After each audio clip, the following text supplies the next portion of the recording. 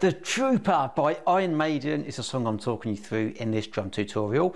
Before I crack on with this video though, if you could like and subscribe, that will help me out tremendously. And if you also want to help support the channel, I'll leave a link in the description below. So I am going to go through the intro because these kind of tom breaks that we've got to happen pretty much throughout this track and I'm most definitely going to go through the main kind of groove, the main drum riff in this track. I'm going to play these sections up to speed first of all, and then we'll break them down super slow. So have a listen to the intro. First of all, goes like this.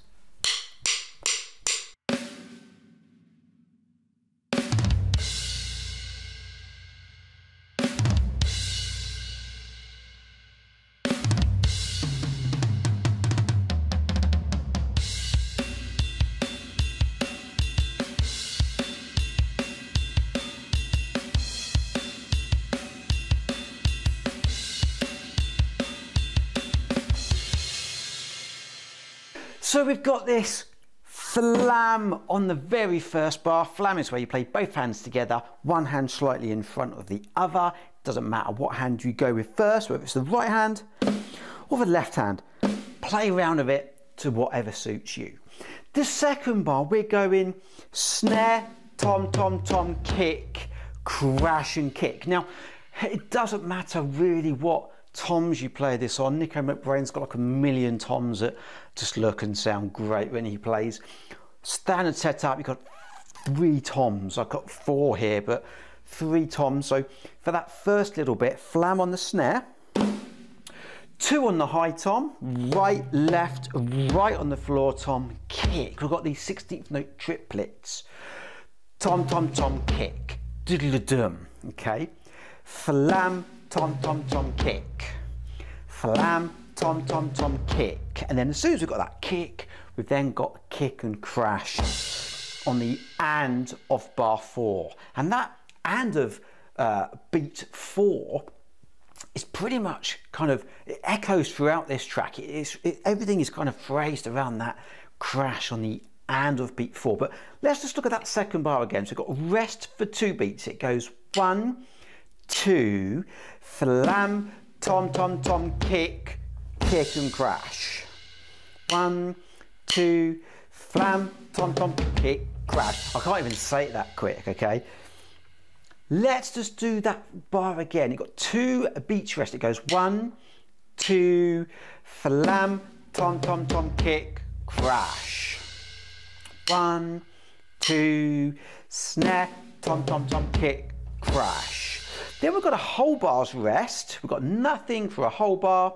And then we've got the same bar again. One, two, snare, tom, tom, tom, kick, crash. And a whole rest for a bar. Then we've got it one more time. One, two, snare, tom, tom, tom, kick, crash. And then we've got this big rundown.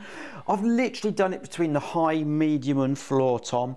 Um, it doesn't matter as long as you get the rhythm. You can play this on any drums. Like I say, he's got a million toms that he runs down. Most people don't have that. So this bar two of line two goes one and two and three and four and uh. One and two and a three and four. Right, left, right. Got them 16th note triplets again. Bar three goes one and two, three and four and. Okay, I will do this and link this all together. The very last bar, it goes of, of line two, one and two, three and four. We're kind of kicking into the groove a little bit here. And then the very third line down, the last line goes one and two, three, four, and. Okay. And then we've got the main groove, which I will talk about in just a moment. So let's go from the very top real slow. Here we go. One, two, three, and four, and one, two, three, four. Second bar. One, two, three. Tom, tom, tom, kick, crash. Whole bar's rest. Two, three, four. After two, one, two, snare, tom tom tom kick, crash, whole bars rest, two, three, four, line two, one, two, three, tom tom tom kick, crash, one, and two, and a three, and four, and one, and two, and a three, and four, and one, and two, three, and four, one, and two, three, four, and, and then we're into the groove. When we do get to the groove, you may notice that we are playing on the ride cymbal, in fact, the bell of the ride. Um, but let's just talk about the main groove. It's two bars that basically repeat themselves. I'll demo this first of all, and then we break it down. Have a listen to the groove. Goes like this.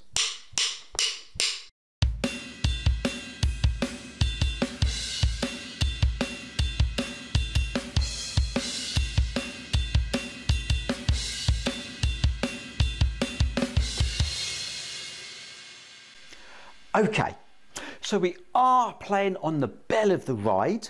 We are going one and two, three and four. So no kick on beat one. I mentioned earlier in the intro that we push this and of the four in quite a lot of these bars or every other bar. And this is why we don't play the kick on beat one because it's kind of carried over from that crash on the previous bar. Let's do that bar again. One, two, three, and four, and one, and two, three, and four. And again, here we go. Two, three, four. One, and two, three, and four. You may find it a little bit tricky because we're so used to playing beat one right hand and kick is does feel a little bit weird when you take that away.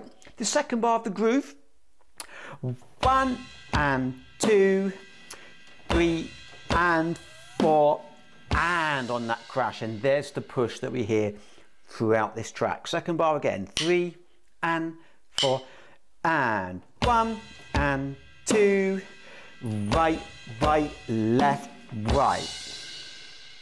Let's link the two bars together. Three and four and one and two, three and four. Second bar, one and two, three and four.